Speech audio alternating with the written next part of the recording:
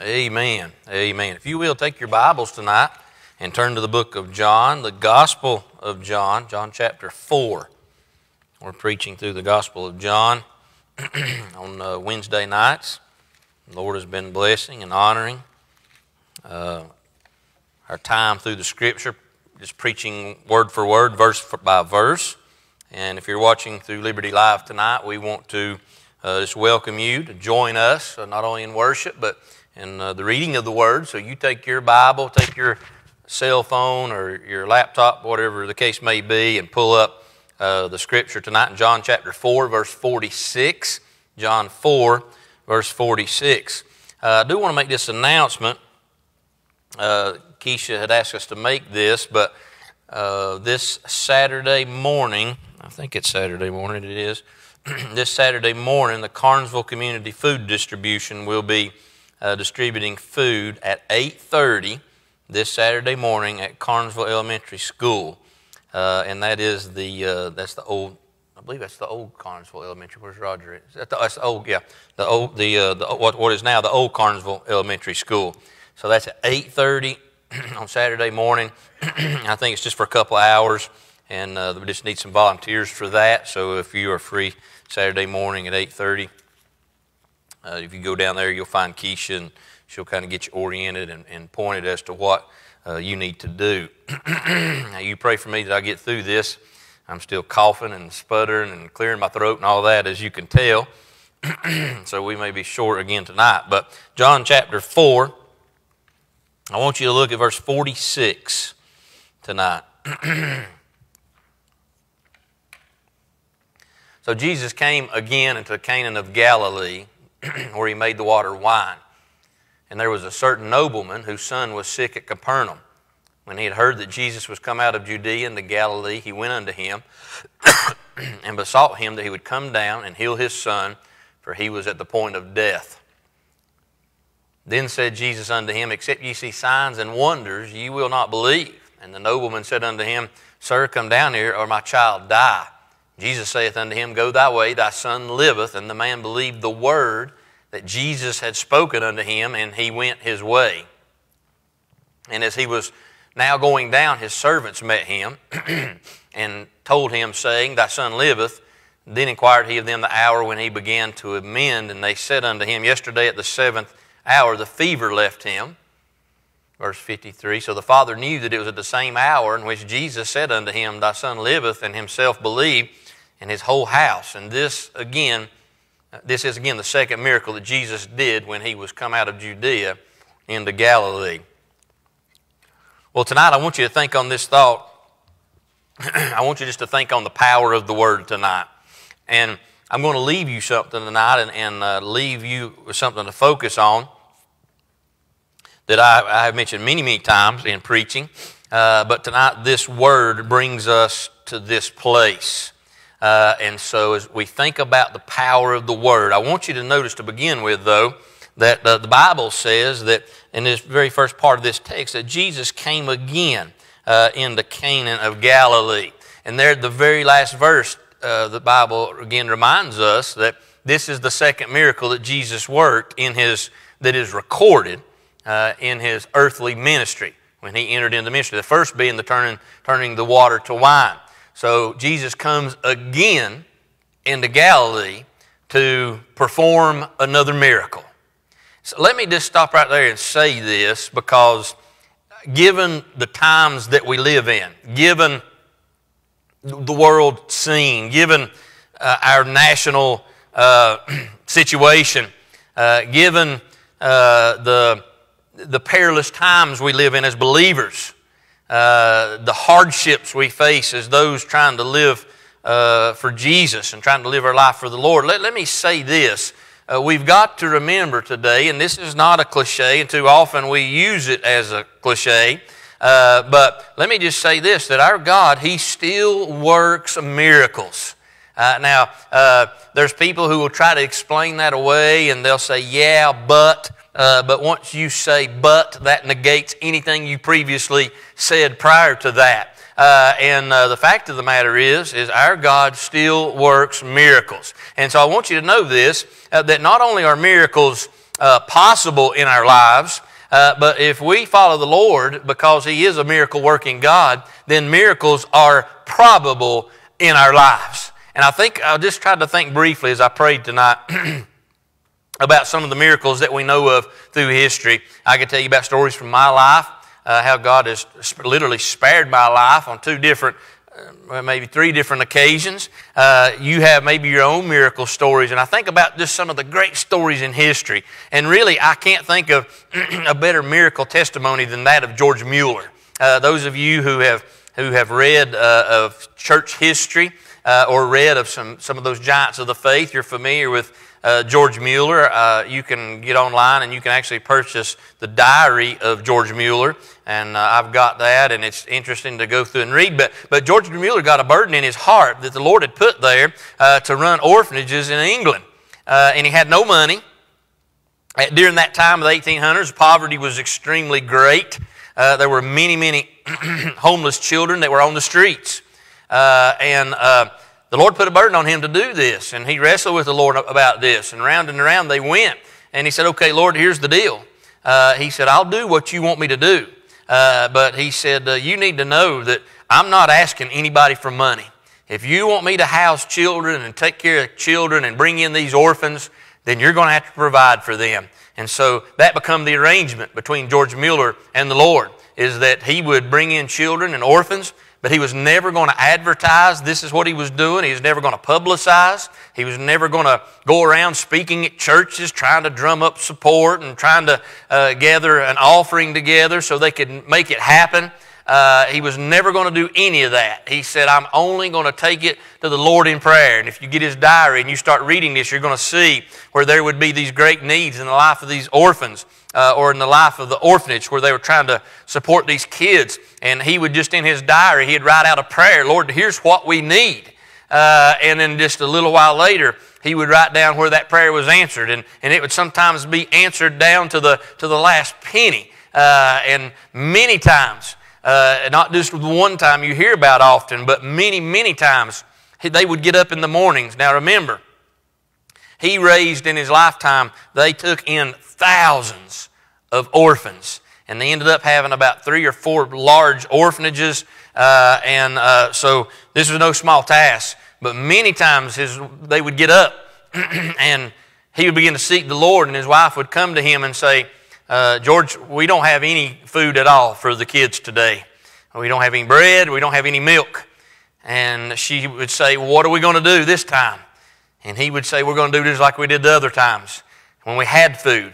He said, Go ahead and set the table, get the kids cleaned up and washed up, and sit them around the table, and let's give God thanks. Now, keep in mind, giving God thanks for food you don't have, that's, that's quite a mark of a man. Uh, and so they would pray.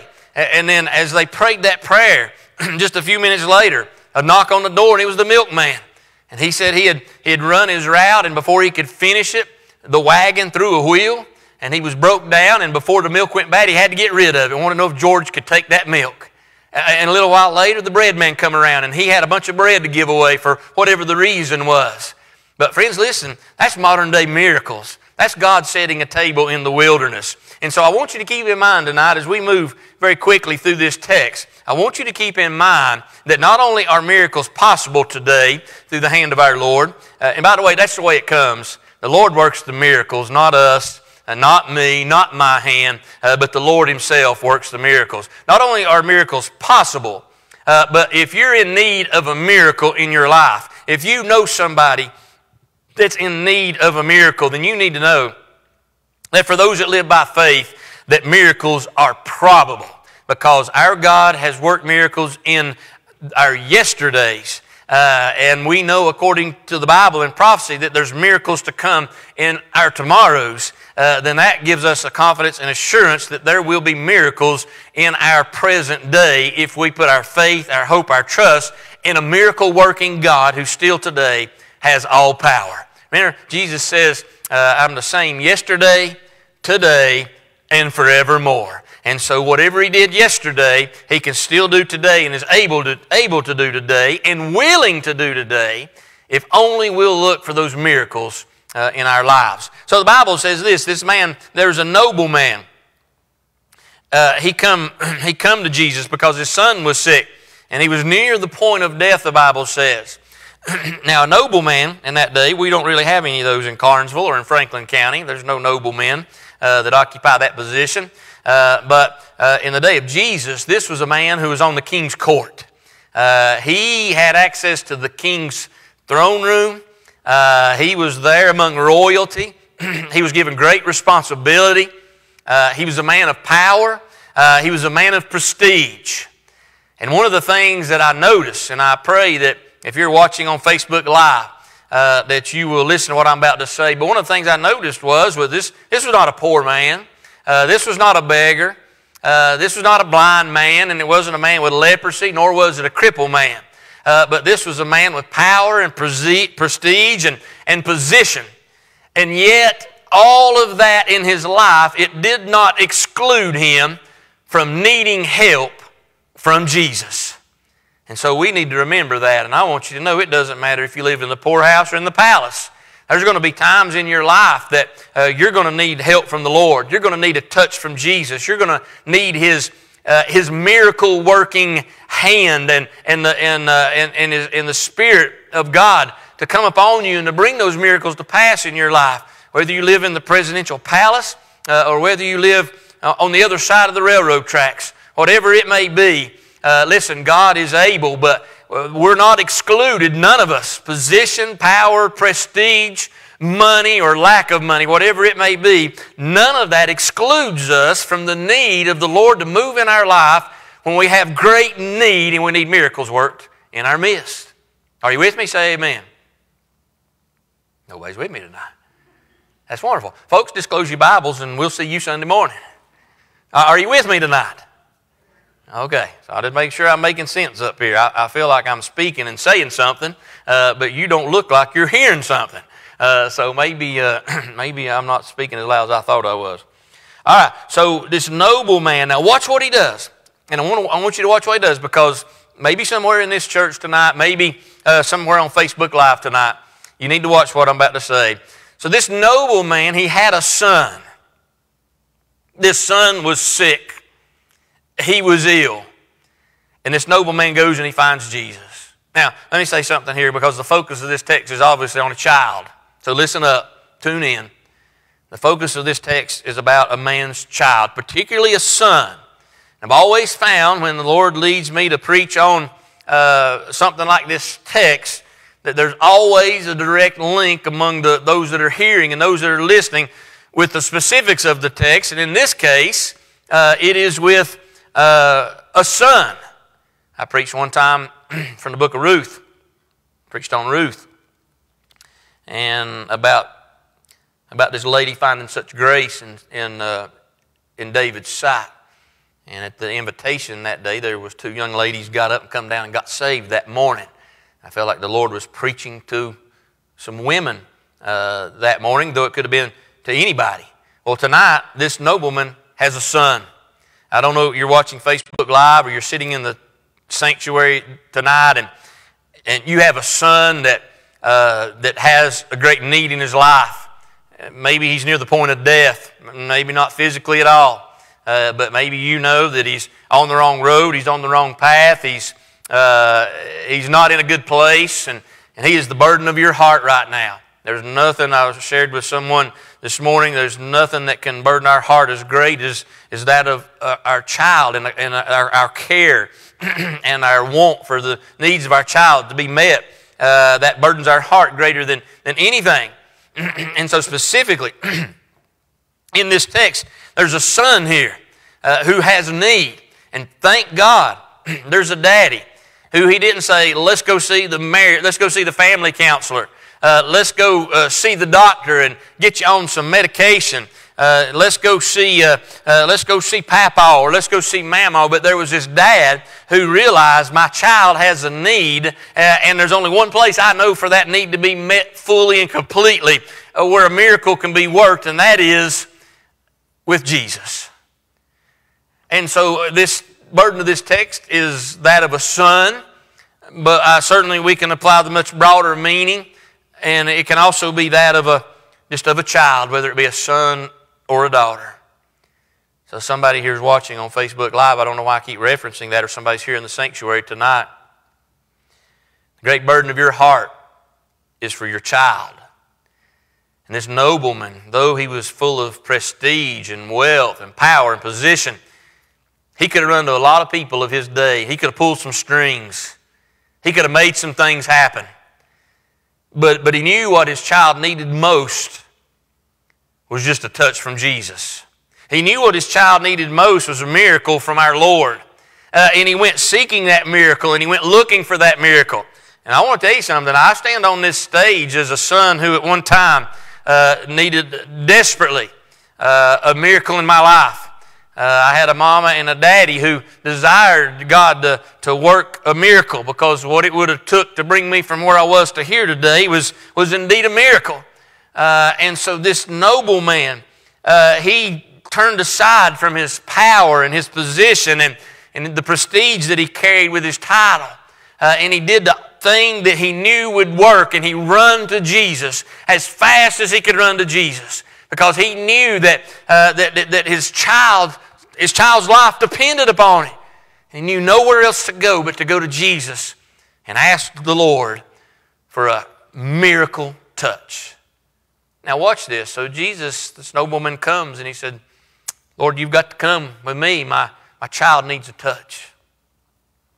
And Jesus, he by this time already, just in the few first few short months of his public ministry, he had already gathered that there was this miracle seeking crowd. They just wanted the, the miracles and the signs and the wonders. They wanted to see the razzle dazzle. Uh, they, they wanted to see the excitement. Uh, they wanted to see all of that. And so the Lord, He assumes that this man has come with that same attitude. And the Lord is not interested in, in just putting on a light show for us. He's not, he's not interested in, in the razzle and dazzle.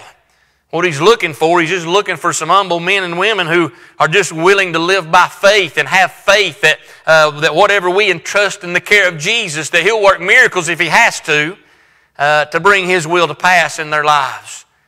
Uh, and, and so Jesus didn't want no part of that crowd that was seeking the spectacular. And by the way, there's still a crowd out there today that's seeking the spectacular. If we, if we put lasers up in this church and every Sunday morning we'd darken the church and pull shades over the windows and have a laser show and have a smoke machine pumping out smoke across the stage so it looks like I'm floating in the air while I stand up here and preach and uh, and then we had just the right kind of music and we had it loud enough and, and so forth. Well, they'd be this big crowd coming because they just want to see the light show. Uh, because they just want to see the, the spectacular and the, and, and the, the razzle dazzle. Uh, what Jesus is interested in, he just wants some that, that have faith. Uh, and when he healed the ten lepers and, and only one come back, he wanted to know where the other nine was because he just wanted to be praised and worshiped in spirit and truth. Uh, and so we see that Jesus responds with his attitude because of the crowd that had followed him. And he said, Listen, I know you're coming, and, and unless you see miracles and signs, you're never going to believe. You're just wanting miracles and signs and wonders. And the, the nobleman by faith says this He said, Lord, if you don't come down here, if you don't come down here, there's no hope for my child. And in essence, what he was saying was, was, Lord, the signs and wonders, they might be good. But what my child really needs is, is he just needs you. He needs a touch from you. My child, what they really need is, is help from you. And girls, you can go ahead and come to the piano, but listen to me while they're coming. Now listen. And so this noble man burdened about a child, and you're watching tonight or you're listening tonight and you're burdened about a child. That's what this text is about. It's also about miracles that God works in the lives of our children. And, and so, when that noble man said that, when he reaffirmed his faith and he said, Lord, if you don't come, if you don't come, there's no hope. There's no hope. It's not in the signs, Lord, and it's not in the miracles, but Lord, it's, it's in you. And if through your hand you work miracles, then I'll be quick to praise you and give you glory. And here's what the Bible says the Bible says the Lord, Lord spoke to this man and says, You can go now because your child has been made whole. He's well, he's alive. You're going to find him, and he's not dead. He's not as sick as you thought. Uh, the burden on you was great, but you come to me in the right manner. You come to me with the right attitude. You come to me in total dependence that it wasn't going to be signs and wonders that, that brought a miracle in the life of your child, but you come to me believing that it was me and only me. See, that's what you need to understand is He is our miracle. And He is our miracle in life our child. And the Bible says this. The Bible said that this man got up and left. Now watch this. Here's the power of the Word. The Bible says this man got up and he believed the words of Jesus. Now listen, watch this. He got up and he believed the words of Jesus. See, signs and wonders will pass one day. The Bible says the Word will stand forever. That heaven and earth will pass away. But my Word shall stand forever, the Lord said. And so, watch this. Here's what I've preached before, but I'm driving it home to you tonight because here's exactly what you need to do. And so, you're watching on Facebook Live or you're here tonight and you're listening. The burden of your heart is your child. Maybe they're not sick unto death. Maybe there's nothing overly critical or overly major happening in their life right now, but but the burden of every mom and daddy's heart, almost every day of the week, sometimes more, of us, more than others, sometimes over certain things. You grieve for them. You stay brokenhearted for them. You're heavy hearted for them. I find as my children are reaching the age where they're heading out in life and trying to make uh, career decisions and, and, and various decisions at that age in life that, that it's a worry on my soul uh, about the next steps that they take. Uh, and, and so this nobleman, he believed the word of the Lord, and it was him believing the word of the Lord that brought the miracle into the life of this child, and that child was healed at that moment when he believed the word of the Lord. And so, watch this. I want to, I want to give you this now. Listen. so, concerning this topic, your child, concerning this topic, that's what the text is about. That's where we were at in line to come to tonight. Just following the Lord and taking what's next in John. This child of yours. When is the last time? or have you ever, or have you yet? Because I know at the end of this service tonight you're going to do it. You may do it here, you may do it at home. But what you really need is, is you need a word from the Lord. That's what you need. You don't need a word from Preacher Dave. You don't need a word from a visiting evangelist. You don't need a word from a singer. But when it comes to your child and the burden you have in your heart about your child, you, you need a word from the Lord. And I'm not talking about something you feel like that He spoke to your heart. Some, I don't talk about. I'm not talking about how that you found a nice little Facebook or Instagram quote and it was so hallmarky that it moved you to tears and you're claiming that little thought as your promise for your child. I'm not talking about any of that. I'm talking about when have you taken the word or your devotional and you said, Lord, the burden in my heart is my child. and Lord, I need a verse. I, I need something from your word. Because what Preacher David stands to say and says, well, it, it could fail you. What Mama and Papa might say to you, well, I know they're wise and I've got some of the wisest counsel of my life. My grandpa. But that could fail you. But see, what you really need is, is you need just a word from the Lord. You need a verse. you need something you can hold to that you know is not going to fail you. And, and when, here's the thing when you've got a burden in your heart and you've sought the Lord with all of your heart, and the Lord gives you a word, friend, I want you to understand that is a promise. And you talking about making your burden a little lighter. You you talking about making your heart a little full. When you know you have subject tonight's your child, when you know you have went to the Lord over your child, and then the Lord has spoke to you a verse, give you some words there, and He's made a promise directly to you that the God of the universe would look down on little old nothing, me and you, and He would speak a promise to us, and then you can take that verse and you can put it to memory. You could tuck it away in your heart. You can write it on a sticky note and put it on your dashboard. you can put it on your refrigerator. You can highlight it in your devotional or in your Bible and leave, it, leave your Bible laying open on that spot. and you can keep that verse to memory. And let that be what you hang on to and let that be what you hold to until God's promise comes true. When God makes you a promise, friend, listen to me.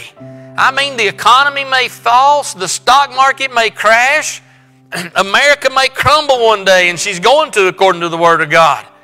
She won't even, she won't even exist one day. All of that can happen around us. Hell may fall around us. Demons may fly around us.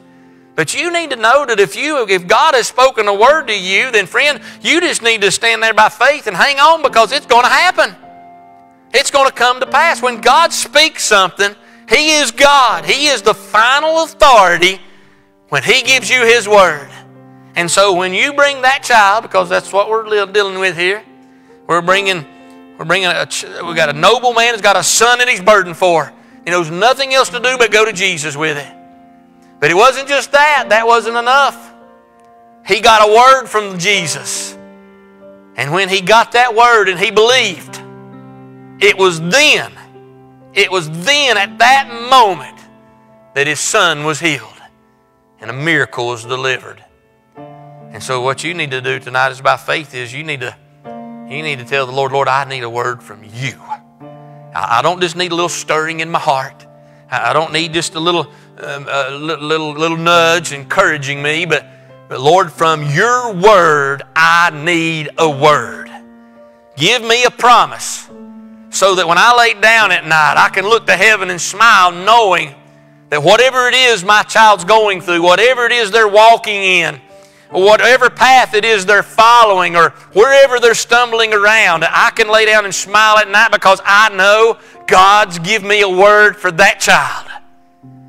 And I can have faith that they are in hands so much bigger than mine. So much bigger than mine. One of my, I shared this this morning, one of the hardest things I've ever had to do, and you parents are going to agree with me, most difficult thing I've ever done in life is trusting God with my children. I, am a hands-on kind of person. I, want to I want to lead. If there's a need of a leader, uh, I want to take charge. I want to I want to I want to make things happen. I want to I want to get to the task. I'm task focused and task oriented, and, and and you know want to accomplish the objectives, whatever that may be. And what I found out is that when it comes to our children, especially as they grow older, we're, we're helpless. We, we just can't do it all. Yeah, when they're three on the playground, I can protect them. When they skin a knee, I can jerk them up and kiss it and make it better. I can put a band aid on it. I can fix things. But when they're 16 and 19 and 21 and so forth, and there's a lot of things dad just can't do. And one of the hardest things I've ever am learning to do is to trust God with my children. But here's what I want you to know that I that the Lord spoke to me is this is that God loves your children far more than you could ever love your children. He loves your children greater than you will ever love your child. Think about how much you love your child. The Lord loves your child more than that. Preacher, how do you know that? Give me some Bible for that. How about this? How about God loves your children so much that He saw your child in their lost condition? He sent His Son Jesus to die to save your child. That's how much God loves your child. So you can trust Him. I'm telling you, He's trustworthy. But you're fretting and you're burdened and your heartache and, and, and the trouble of your soul, it will be much easier, much lighter If you just ask the Lord, Lord, I need just need a word. Lord, through my devotion, please give me a word. Speak to me plainly from your word. I need a verse to hang on to. I need a verse to, to cling to. I have a child that has my heart troubled, worried. God, if you just give me a verse, speak to me. And I'm telling you, God will do it. He don't want you to stumble around in darkness and trying to figure this out on your own or trying to hold it together on your own. But He'll give you a word. And then you believe it and you memorize it and you post it. You stick it around the house. And every day you look at that word. and then you just sit back and you watch God move. I say this, then I give the invitation. I'm telling you, folks, listen. I've been in situations before, I'd like to say situation, but situations where, where I needed a word and God give me a word. And when I examined that situation from human eyes, laid out the details of it, thoroughly examined it, I looked at it and it was an, an impossible situation. No outs, no hope, no chance. Impossible. The only catch was, was the Lord had give me a word. The Lord had give me a verse. Actually, many verses that all pertained to this impossible situation. And many times I prayed and I said, Lord, I've examined it. I've looked at it. I've calculated it. I've tabulated, I've, I've tabbed it all up. And Lord, without a doubt, it's an impossible situation. And without a doubt, it's hopeless. This is the end. But, Lord, you've given me a verse. You've given me verses. And Lord, that's all I got to hold to. And Lord, I want you to know that if the ship sinks, Lord, I want you to know that if it proves to be a hopeless situation, Lord, I want you to know that if it all turns out impossible and I lay down in the floor and die because of it, then I'm going to lay down and die holding on to the promise you give me because I believe in your word. I got news for you. I didn't lay down in the floor and die because of an impossible situation. I didn't give up hope.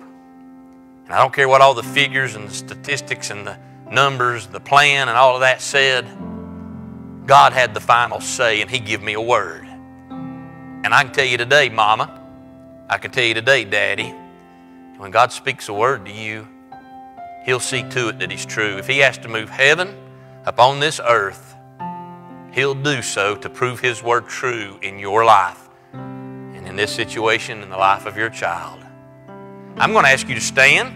If you're watching on Facebook Live, I'm going to ask you to get on your face in your living room, in your kitchen, out on your back porch, and you get down and you let the Lord know, Lord, I got a child I'm worried about, and I need a word from you. And if you're here tonight and you've got a child that you need a word for, I'm just going to ask you to come as the girls sing and ask the Lord, Lord, please give me a word.